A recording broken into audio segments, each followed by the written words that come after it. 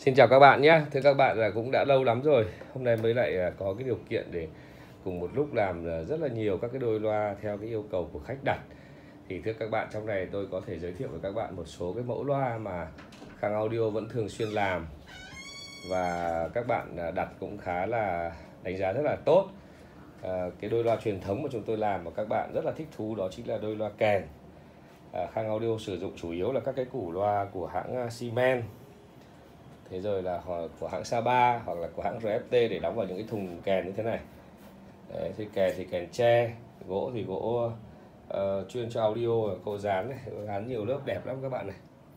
Đấy, gỗ dán chuyên cho audio rất là đẹp.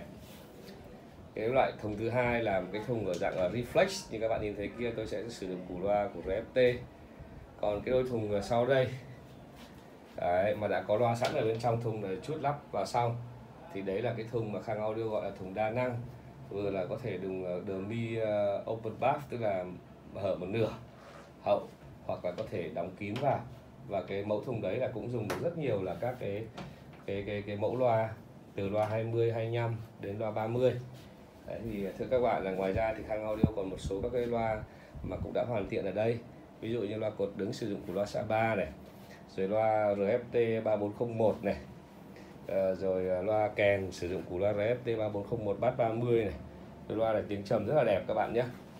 Thế thì hôm nay tôi ờ, làm video để uh, chia sẻ với các bạn là tôi cũng nhận đóng thùng loa và cũng hoàn thiện những cái mẫu loa này để bán và giao hàng trong cả nước.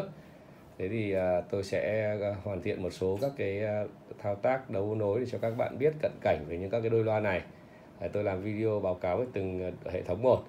Thế sau đó rồi mời các bạn uh, Ờ, xem rồi ờ, chia sẻ rồi ờ, đăng ký cái kênh của tôi rồi nếu các bạn là có nhu cầu mua hàng thì liên hệ với chúng tôi qua số điện thoại và chúng tôi để đến trên cái uh, trang uh, web này nha các bạn nhé chúng tôi để trên cái video này. Chúng tôi sẽ bán và giao hàng toàn quốc cho các bạn. Chúng tôi sẽ tư vấn cho các bạn chơi những cái đôi loa này với những cái loại uh, ampli gì cho nó hay thì uh, Khang Audio đều làm được những cái việc đó. Chất lượng rất là cao các bạn nhé Vâng, xin ờ, mời các bạn xem quá trình tôi đấu nối mấy cái đôi loa này để rồi ờ, các bạn ờ, để biết được cái củ loa và cách đấu nối của nó nha.